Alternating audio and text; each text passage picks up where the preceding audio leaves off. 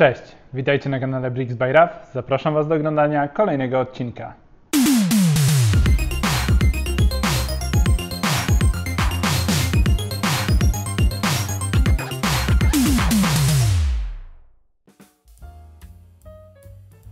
To już prawie rok. Prawie rok jestem z Wami. E, zacząłem w marcu, jest marzec, oczywiście marzec 2021 roku w głębokiej pandemii.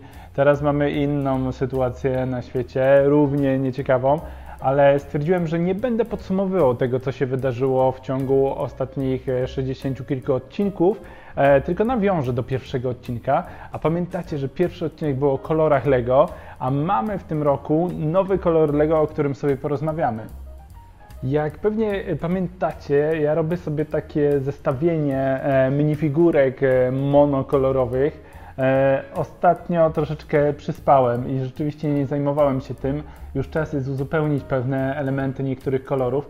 Tu tego nowego koloru jeszcze nie ma. Jest ten ostatni z 2021, czyli koralowy, ale też tak dosyć ubogi, więc czas, żeby troszeczkę przebudować tą, e, tą moją gablotkę i na pewno ją wzbogacić o nowy kolor, a nowym kolorem jest tam taradam, tam, no nowy żółty.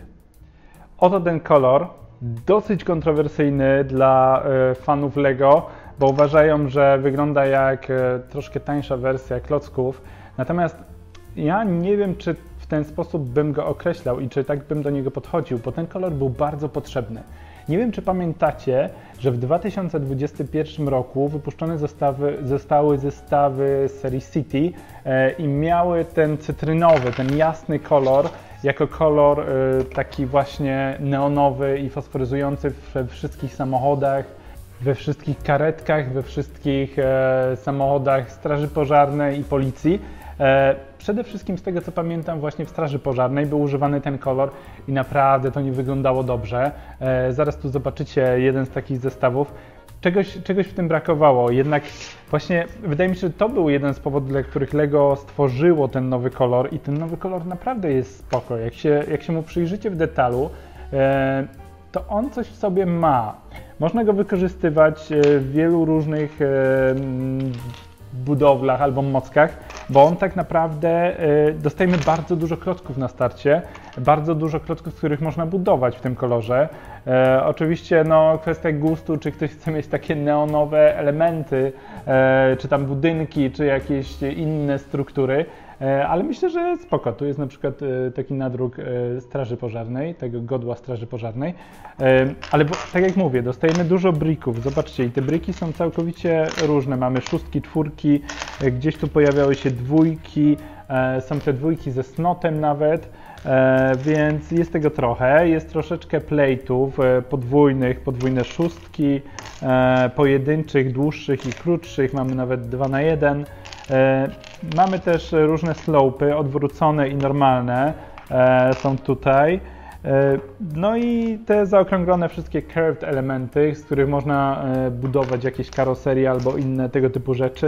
Oczywiście ścięte angle i inne platy tego typu, więc Naprawdę jest tego sporo, jest sporo tych elementów w tym kolorze i to jest taki duży start nowego koloru, bo jak koralowy y, został wprowadzony w 2021, to to było raptem trochę elementów. One były głównie w zestawach Friends, więc y, standardowi budowniczy, którzy zestawami Friends jakoś się super nie interesują, e, nie wiedzieli nawet, że jest tak popularny ten nowy kolor.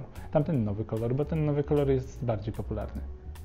Ale pytanie brzmi, gdzie ten neonowy żółty umieścić na naszej palecie kolorów Lego?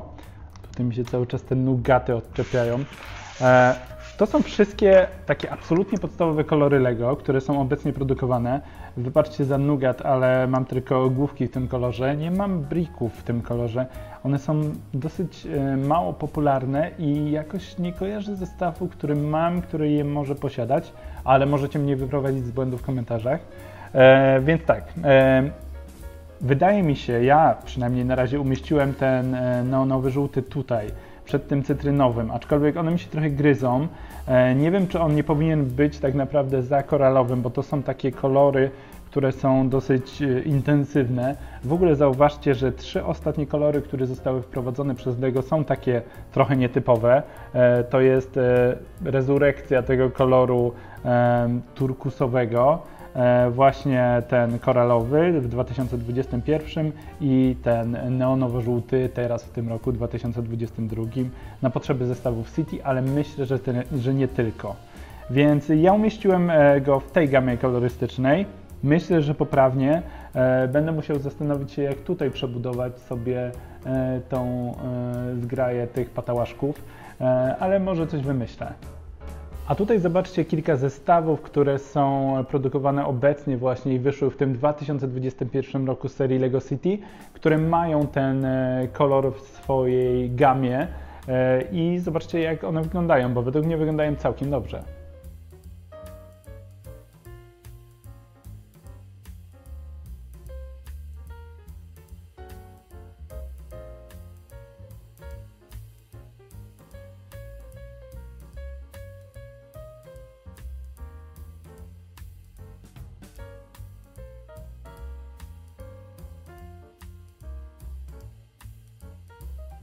Tutaj jeszcze na przykładzie jednego tak naprawdę e, fragmentu zestawu szpitala e, z serii z 2002 roku, oczywiście z serii City.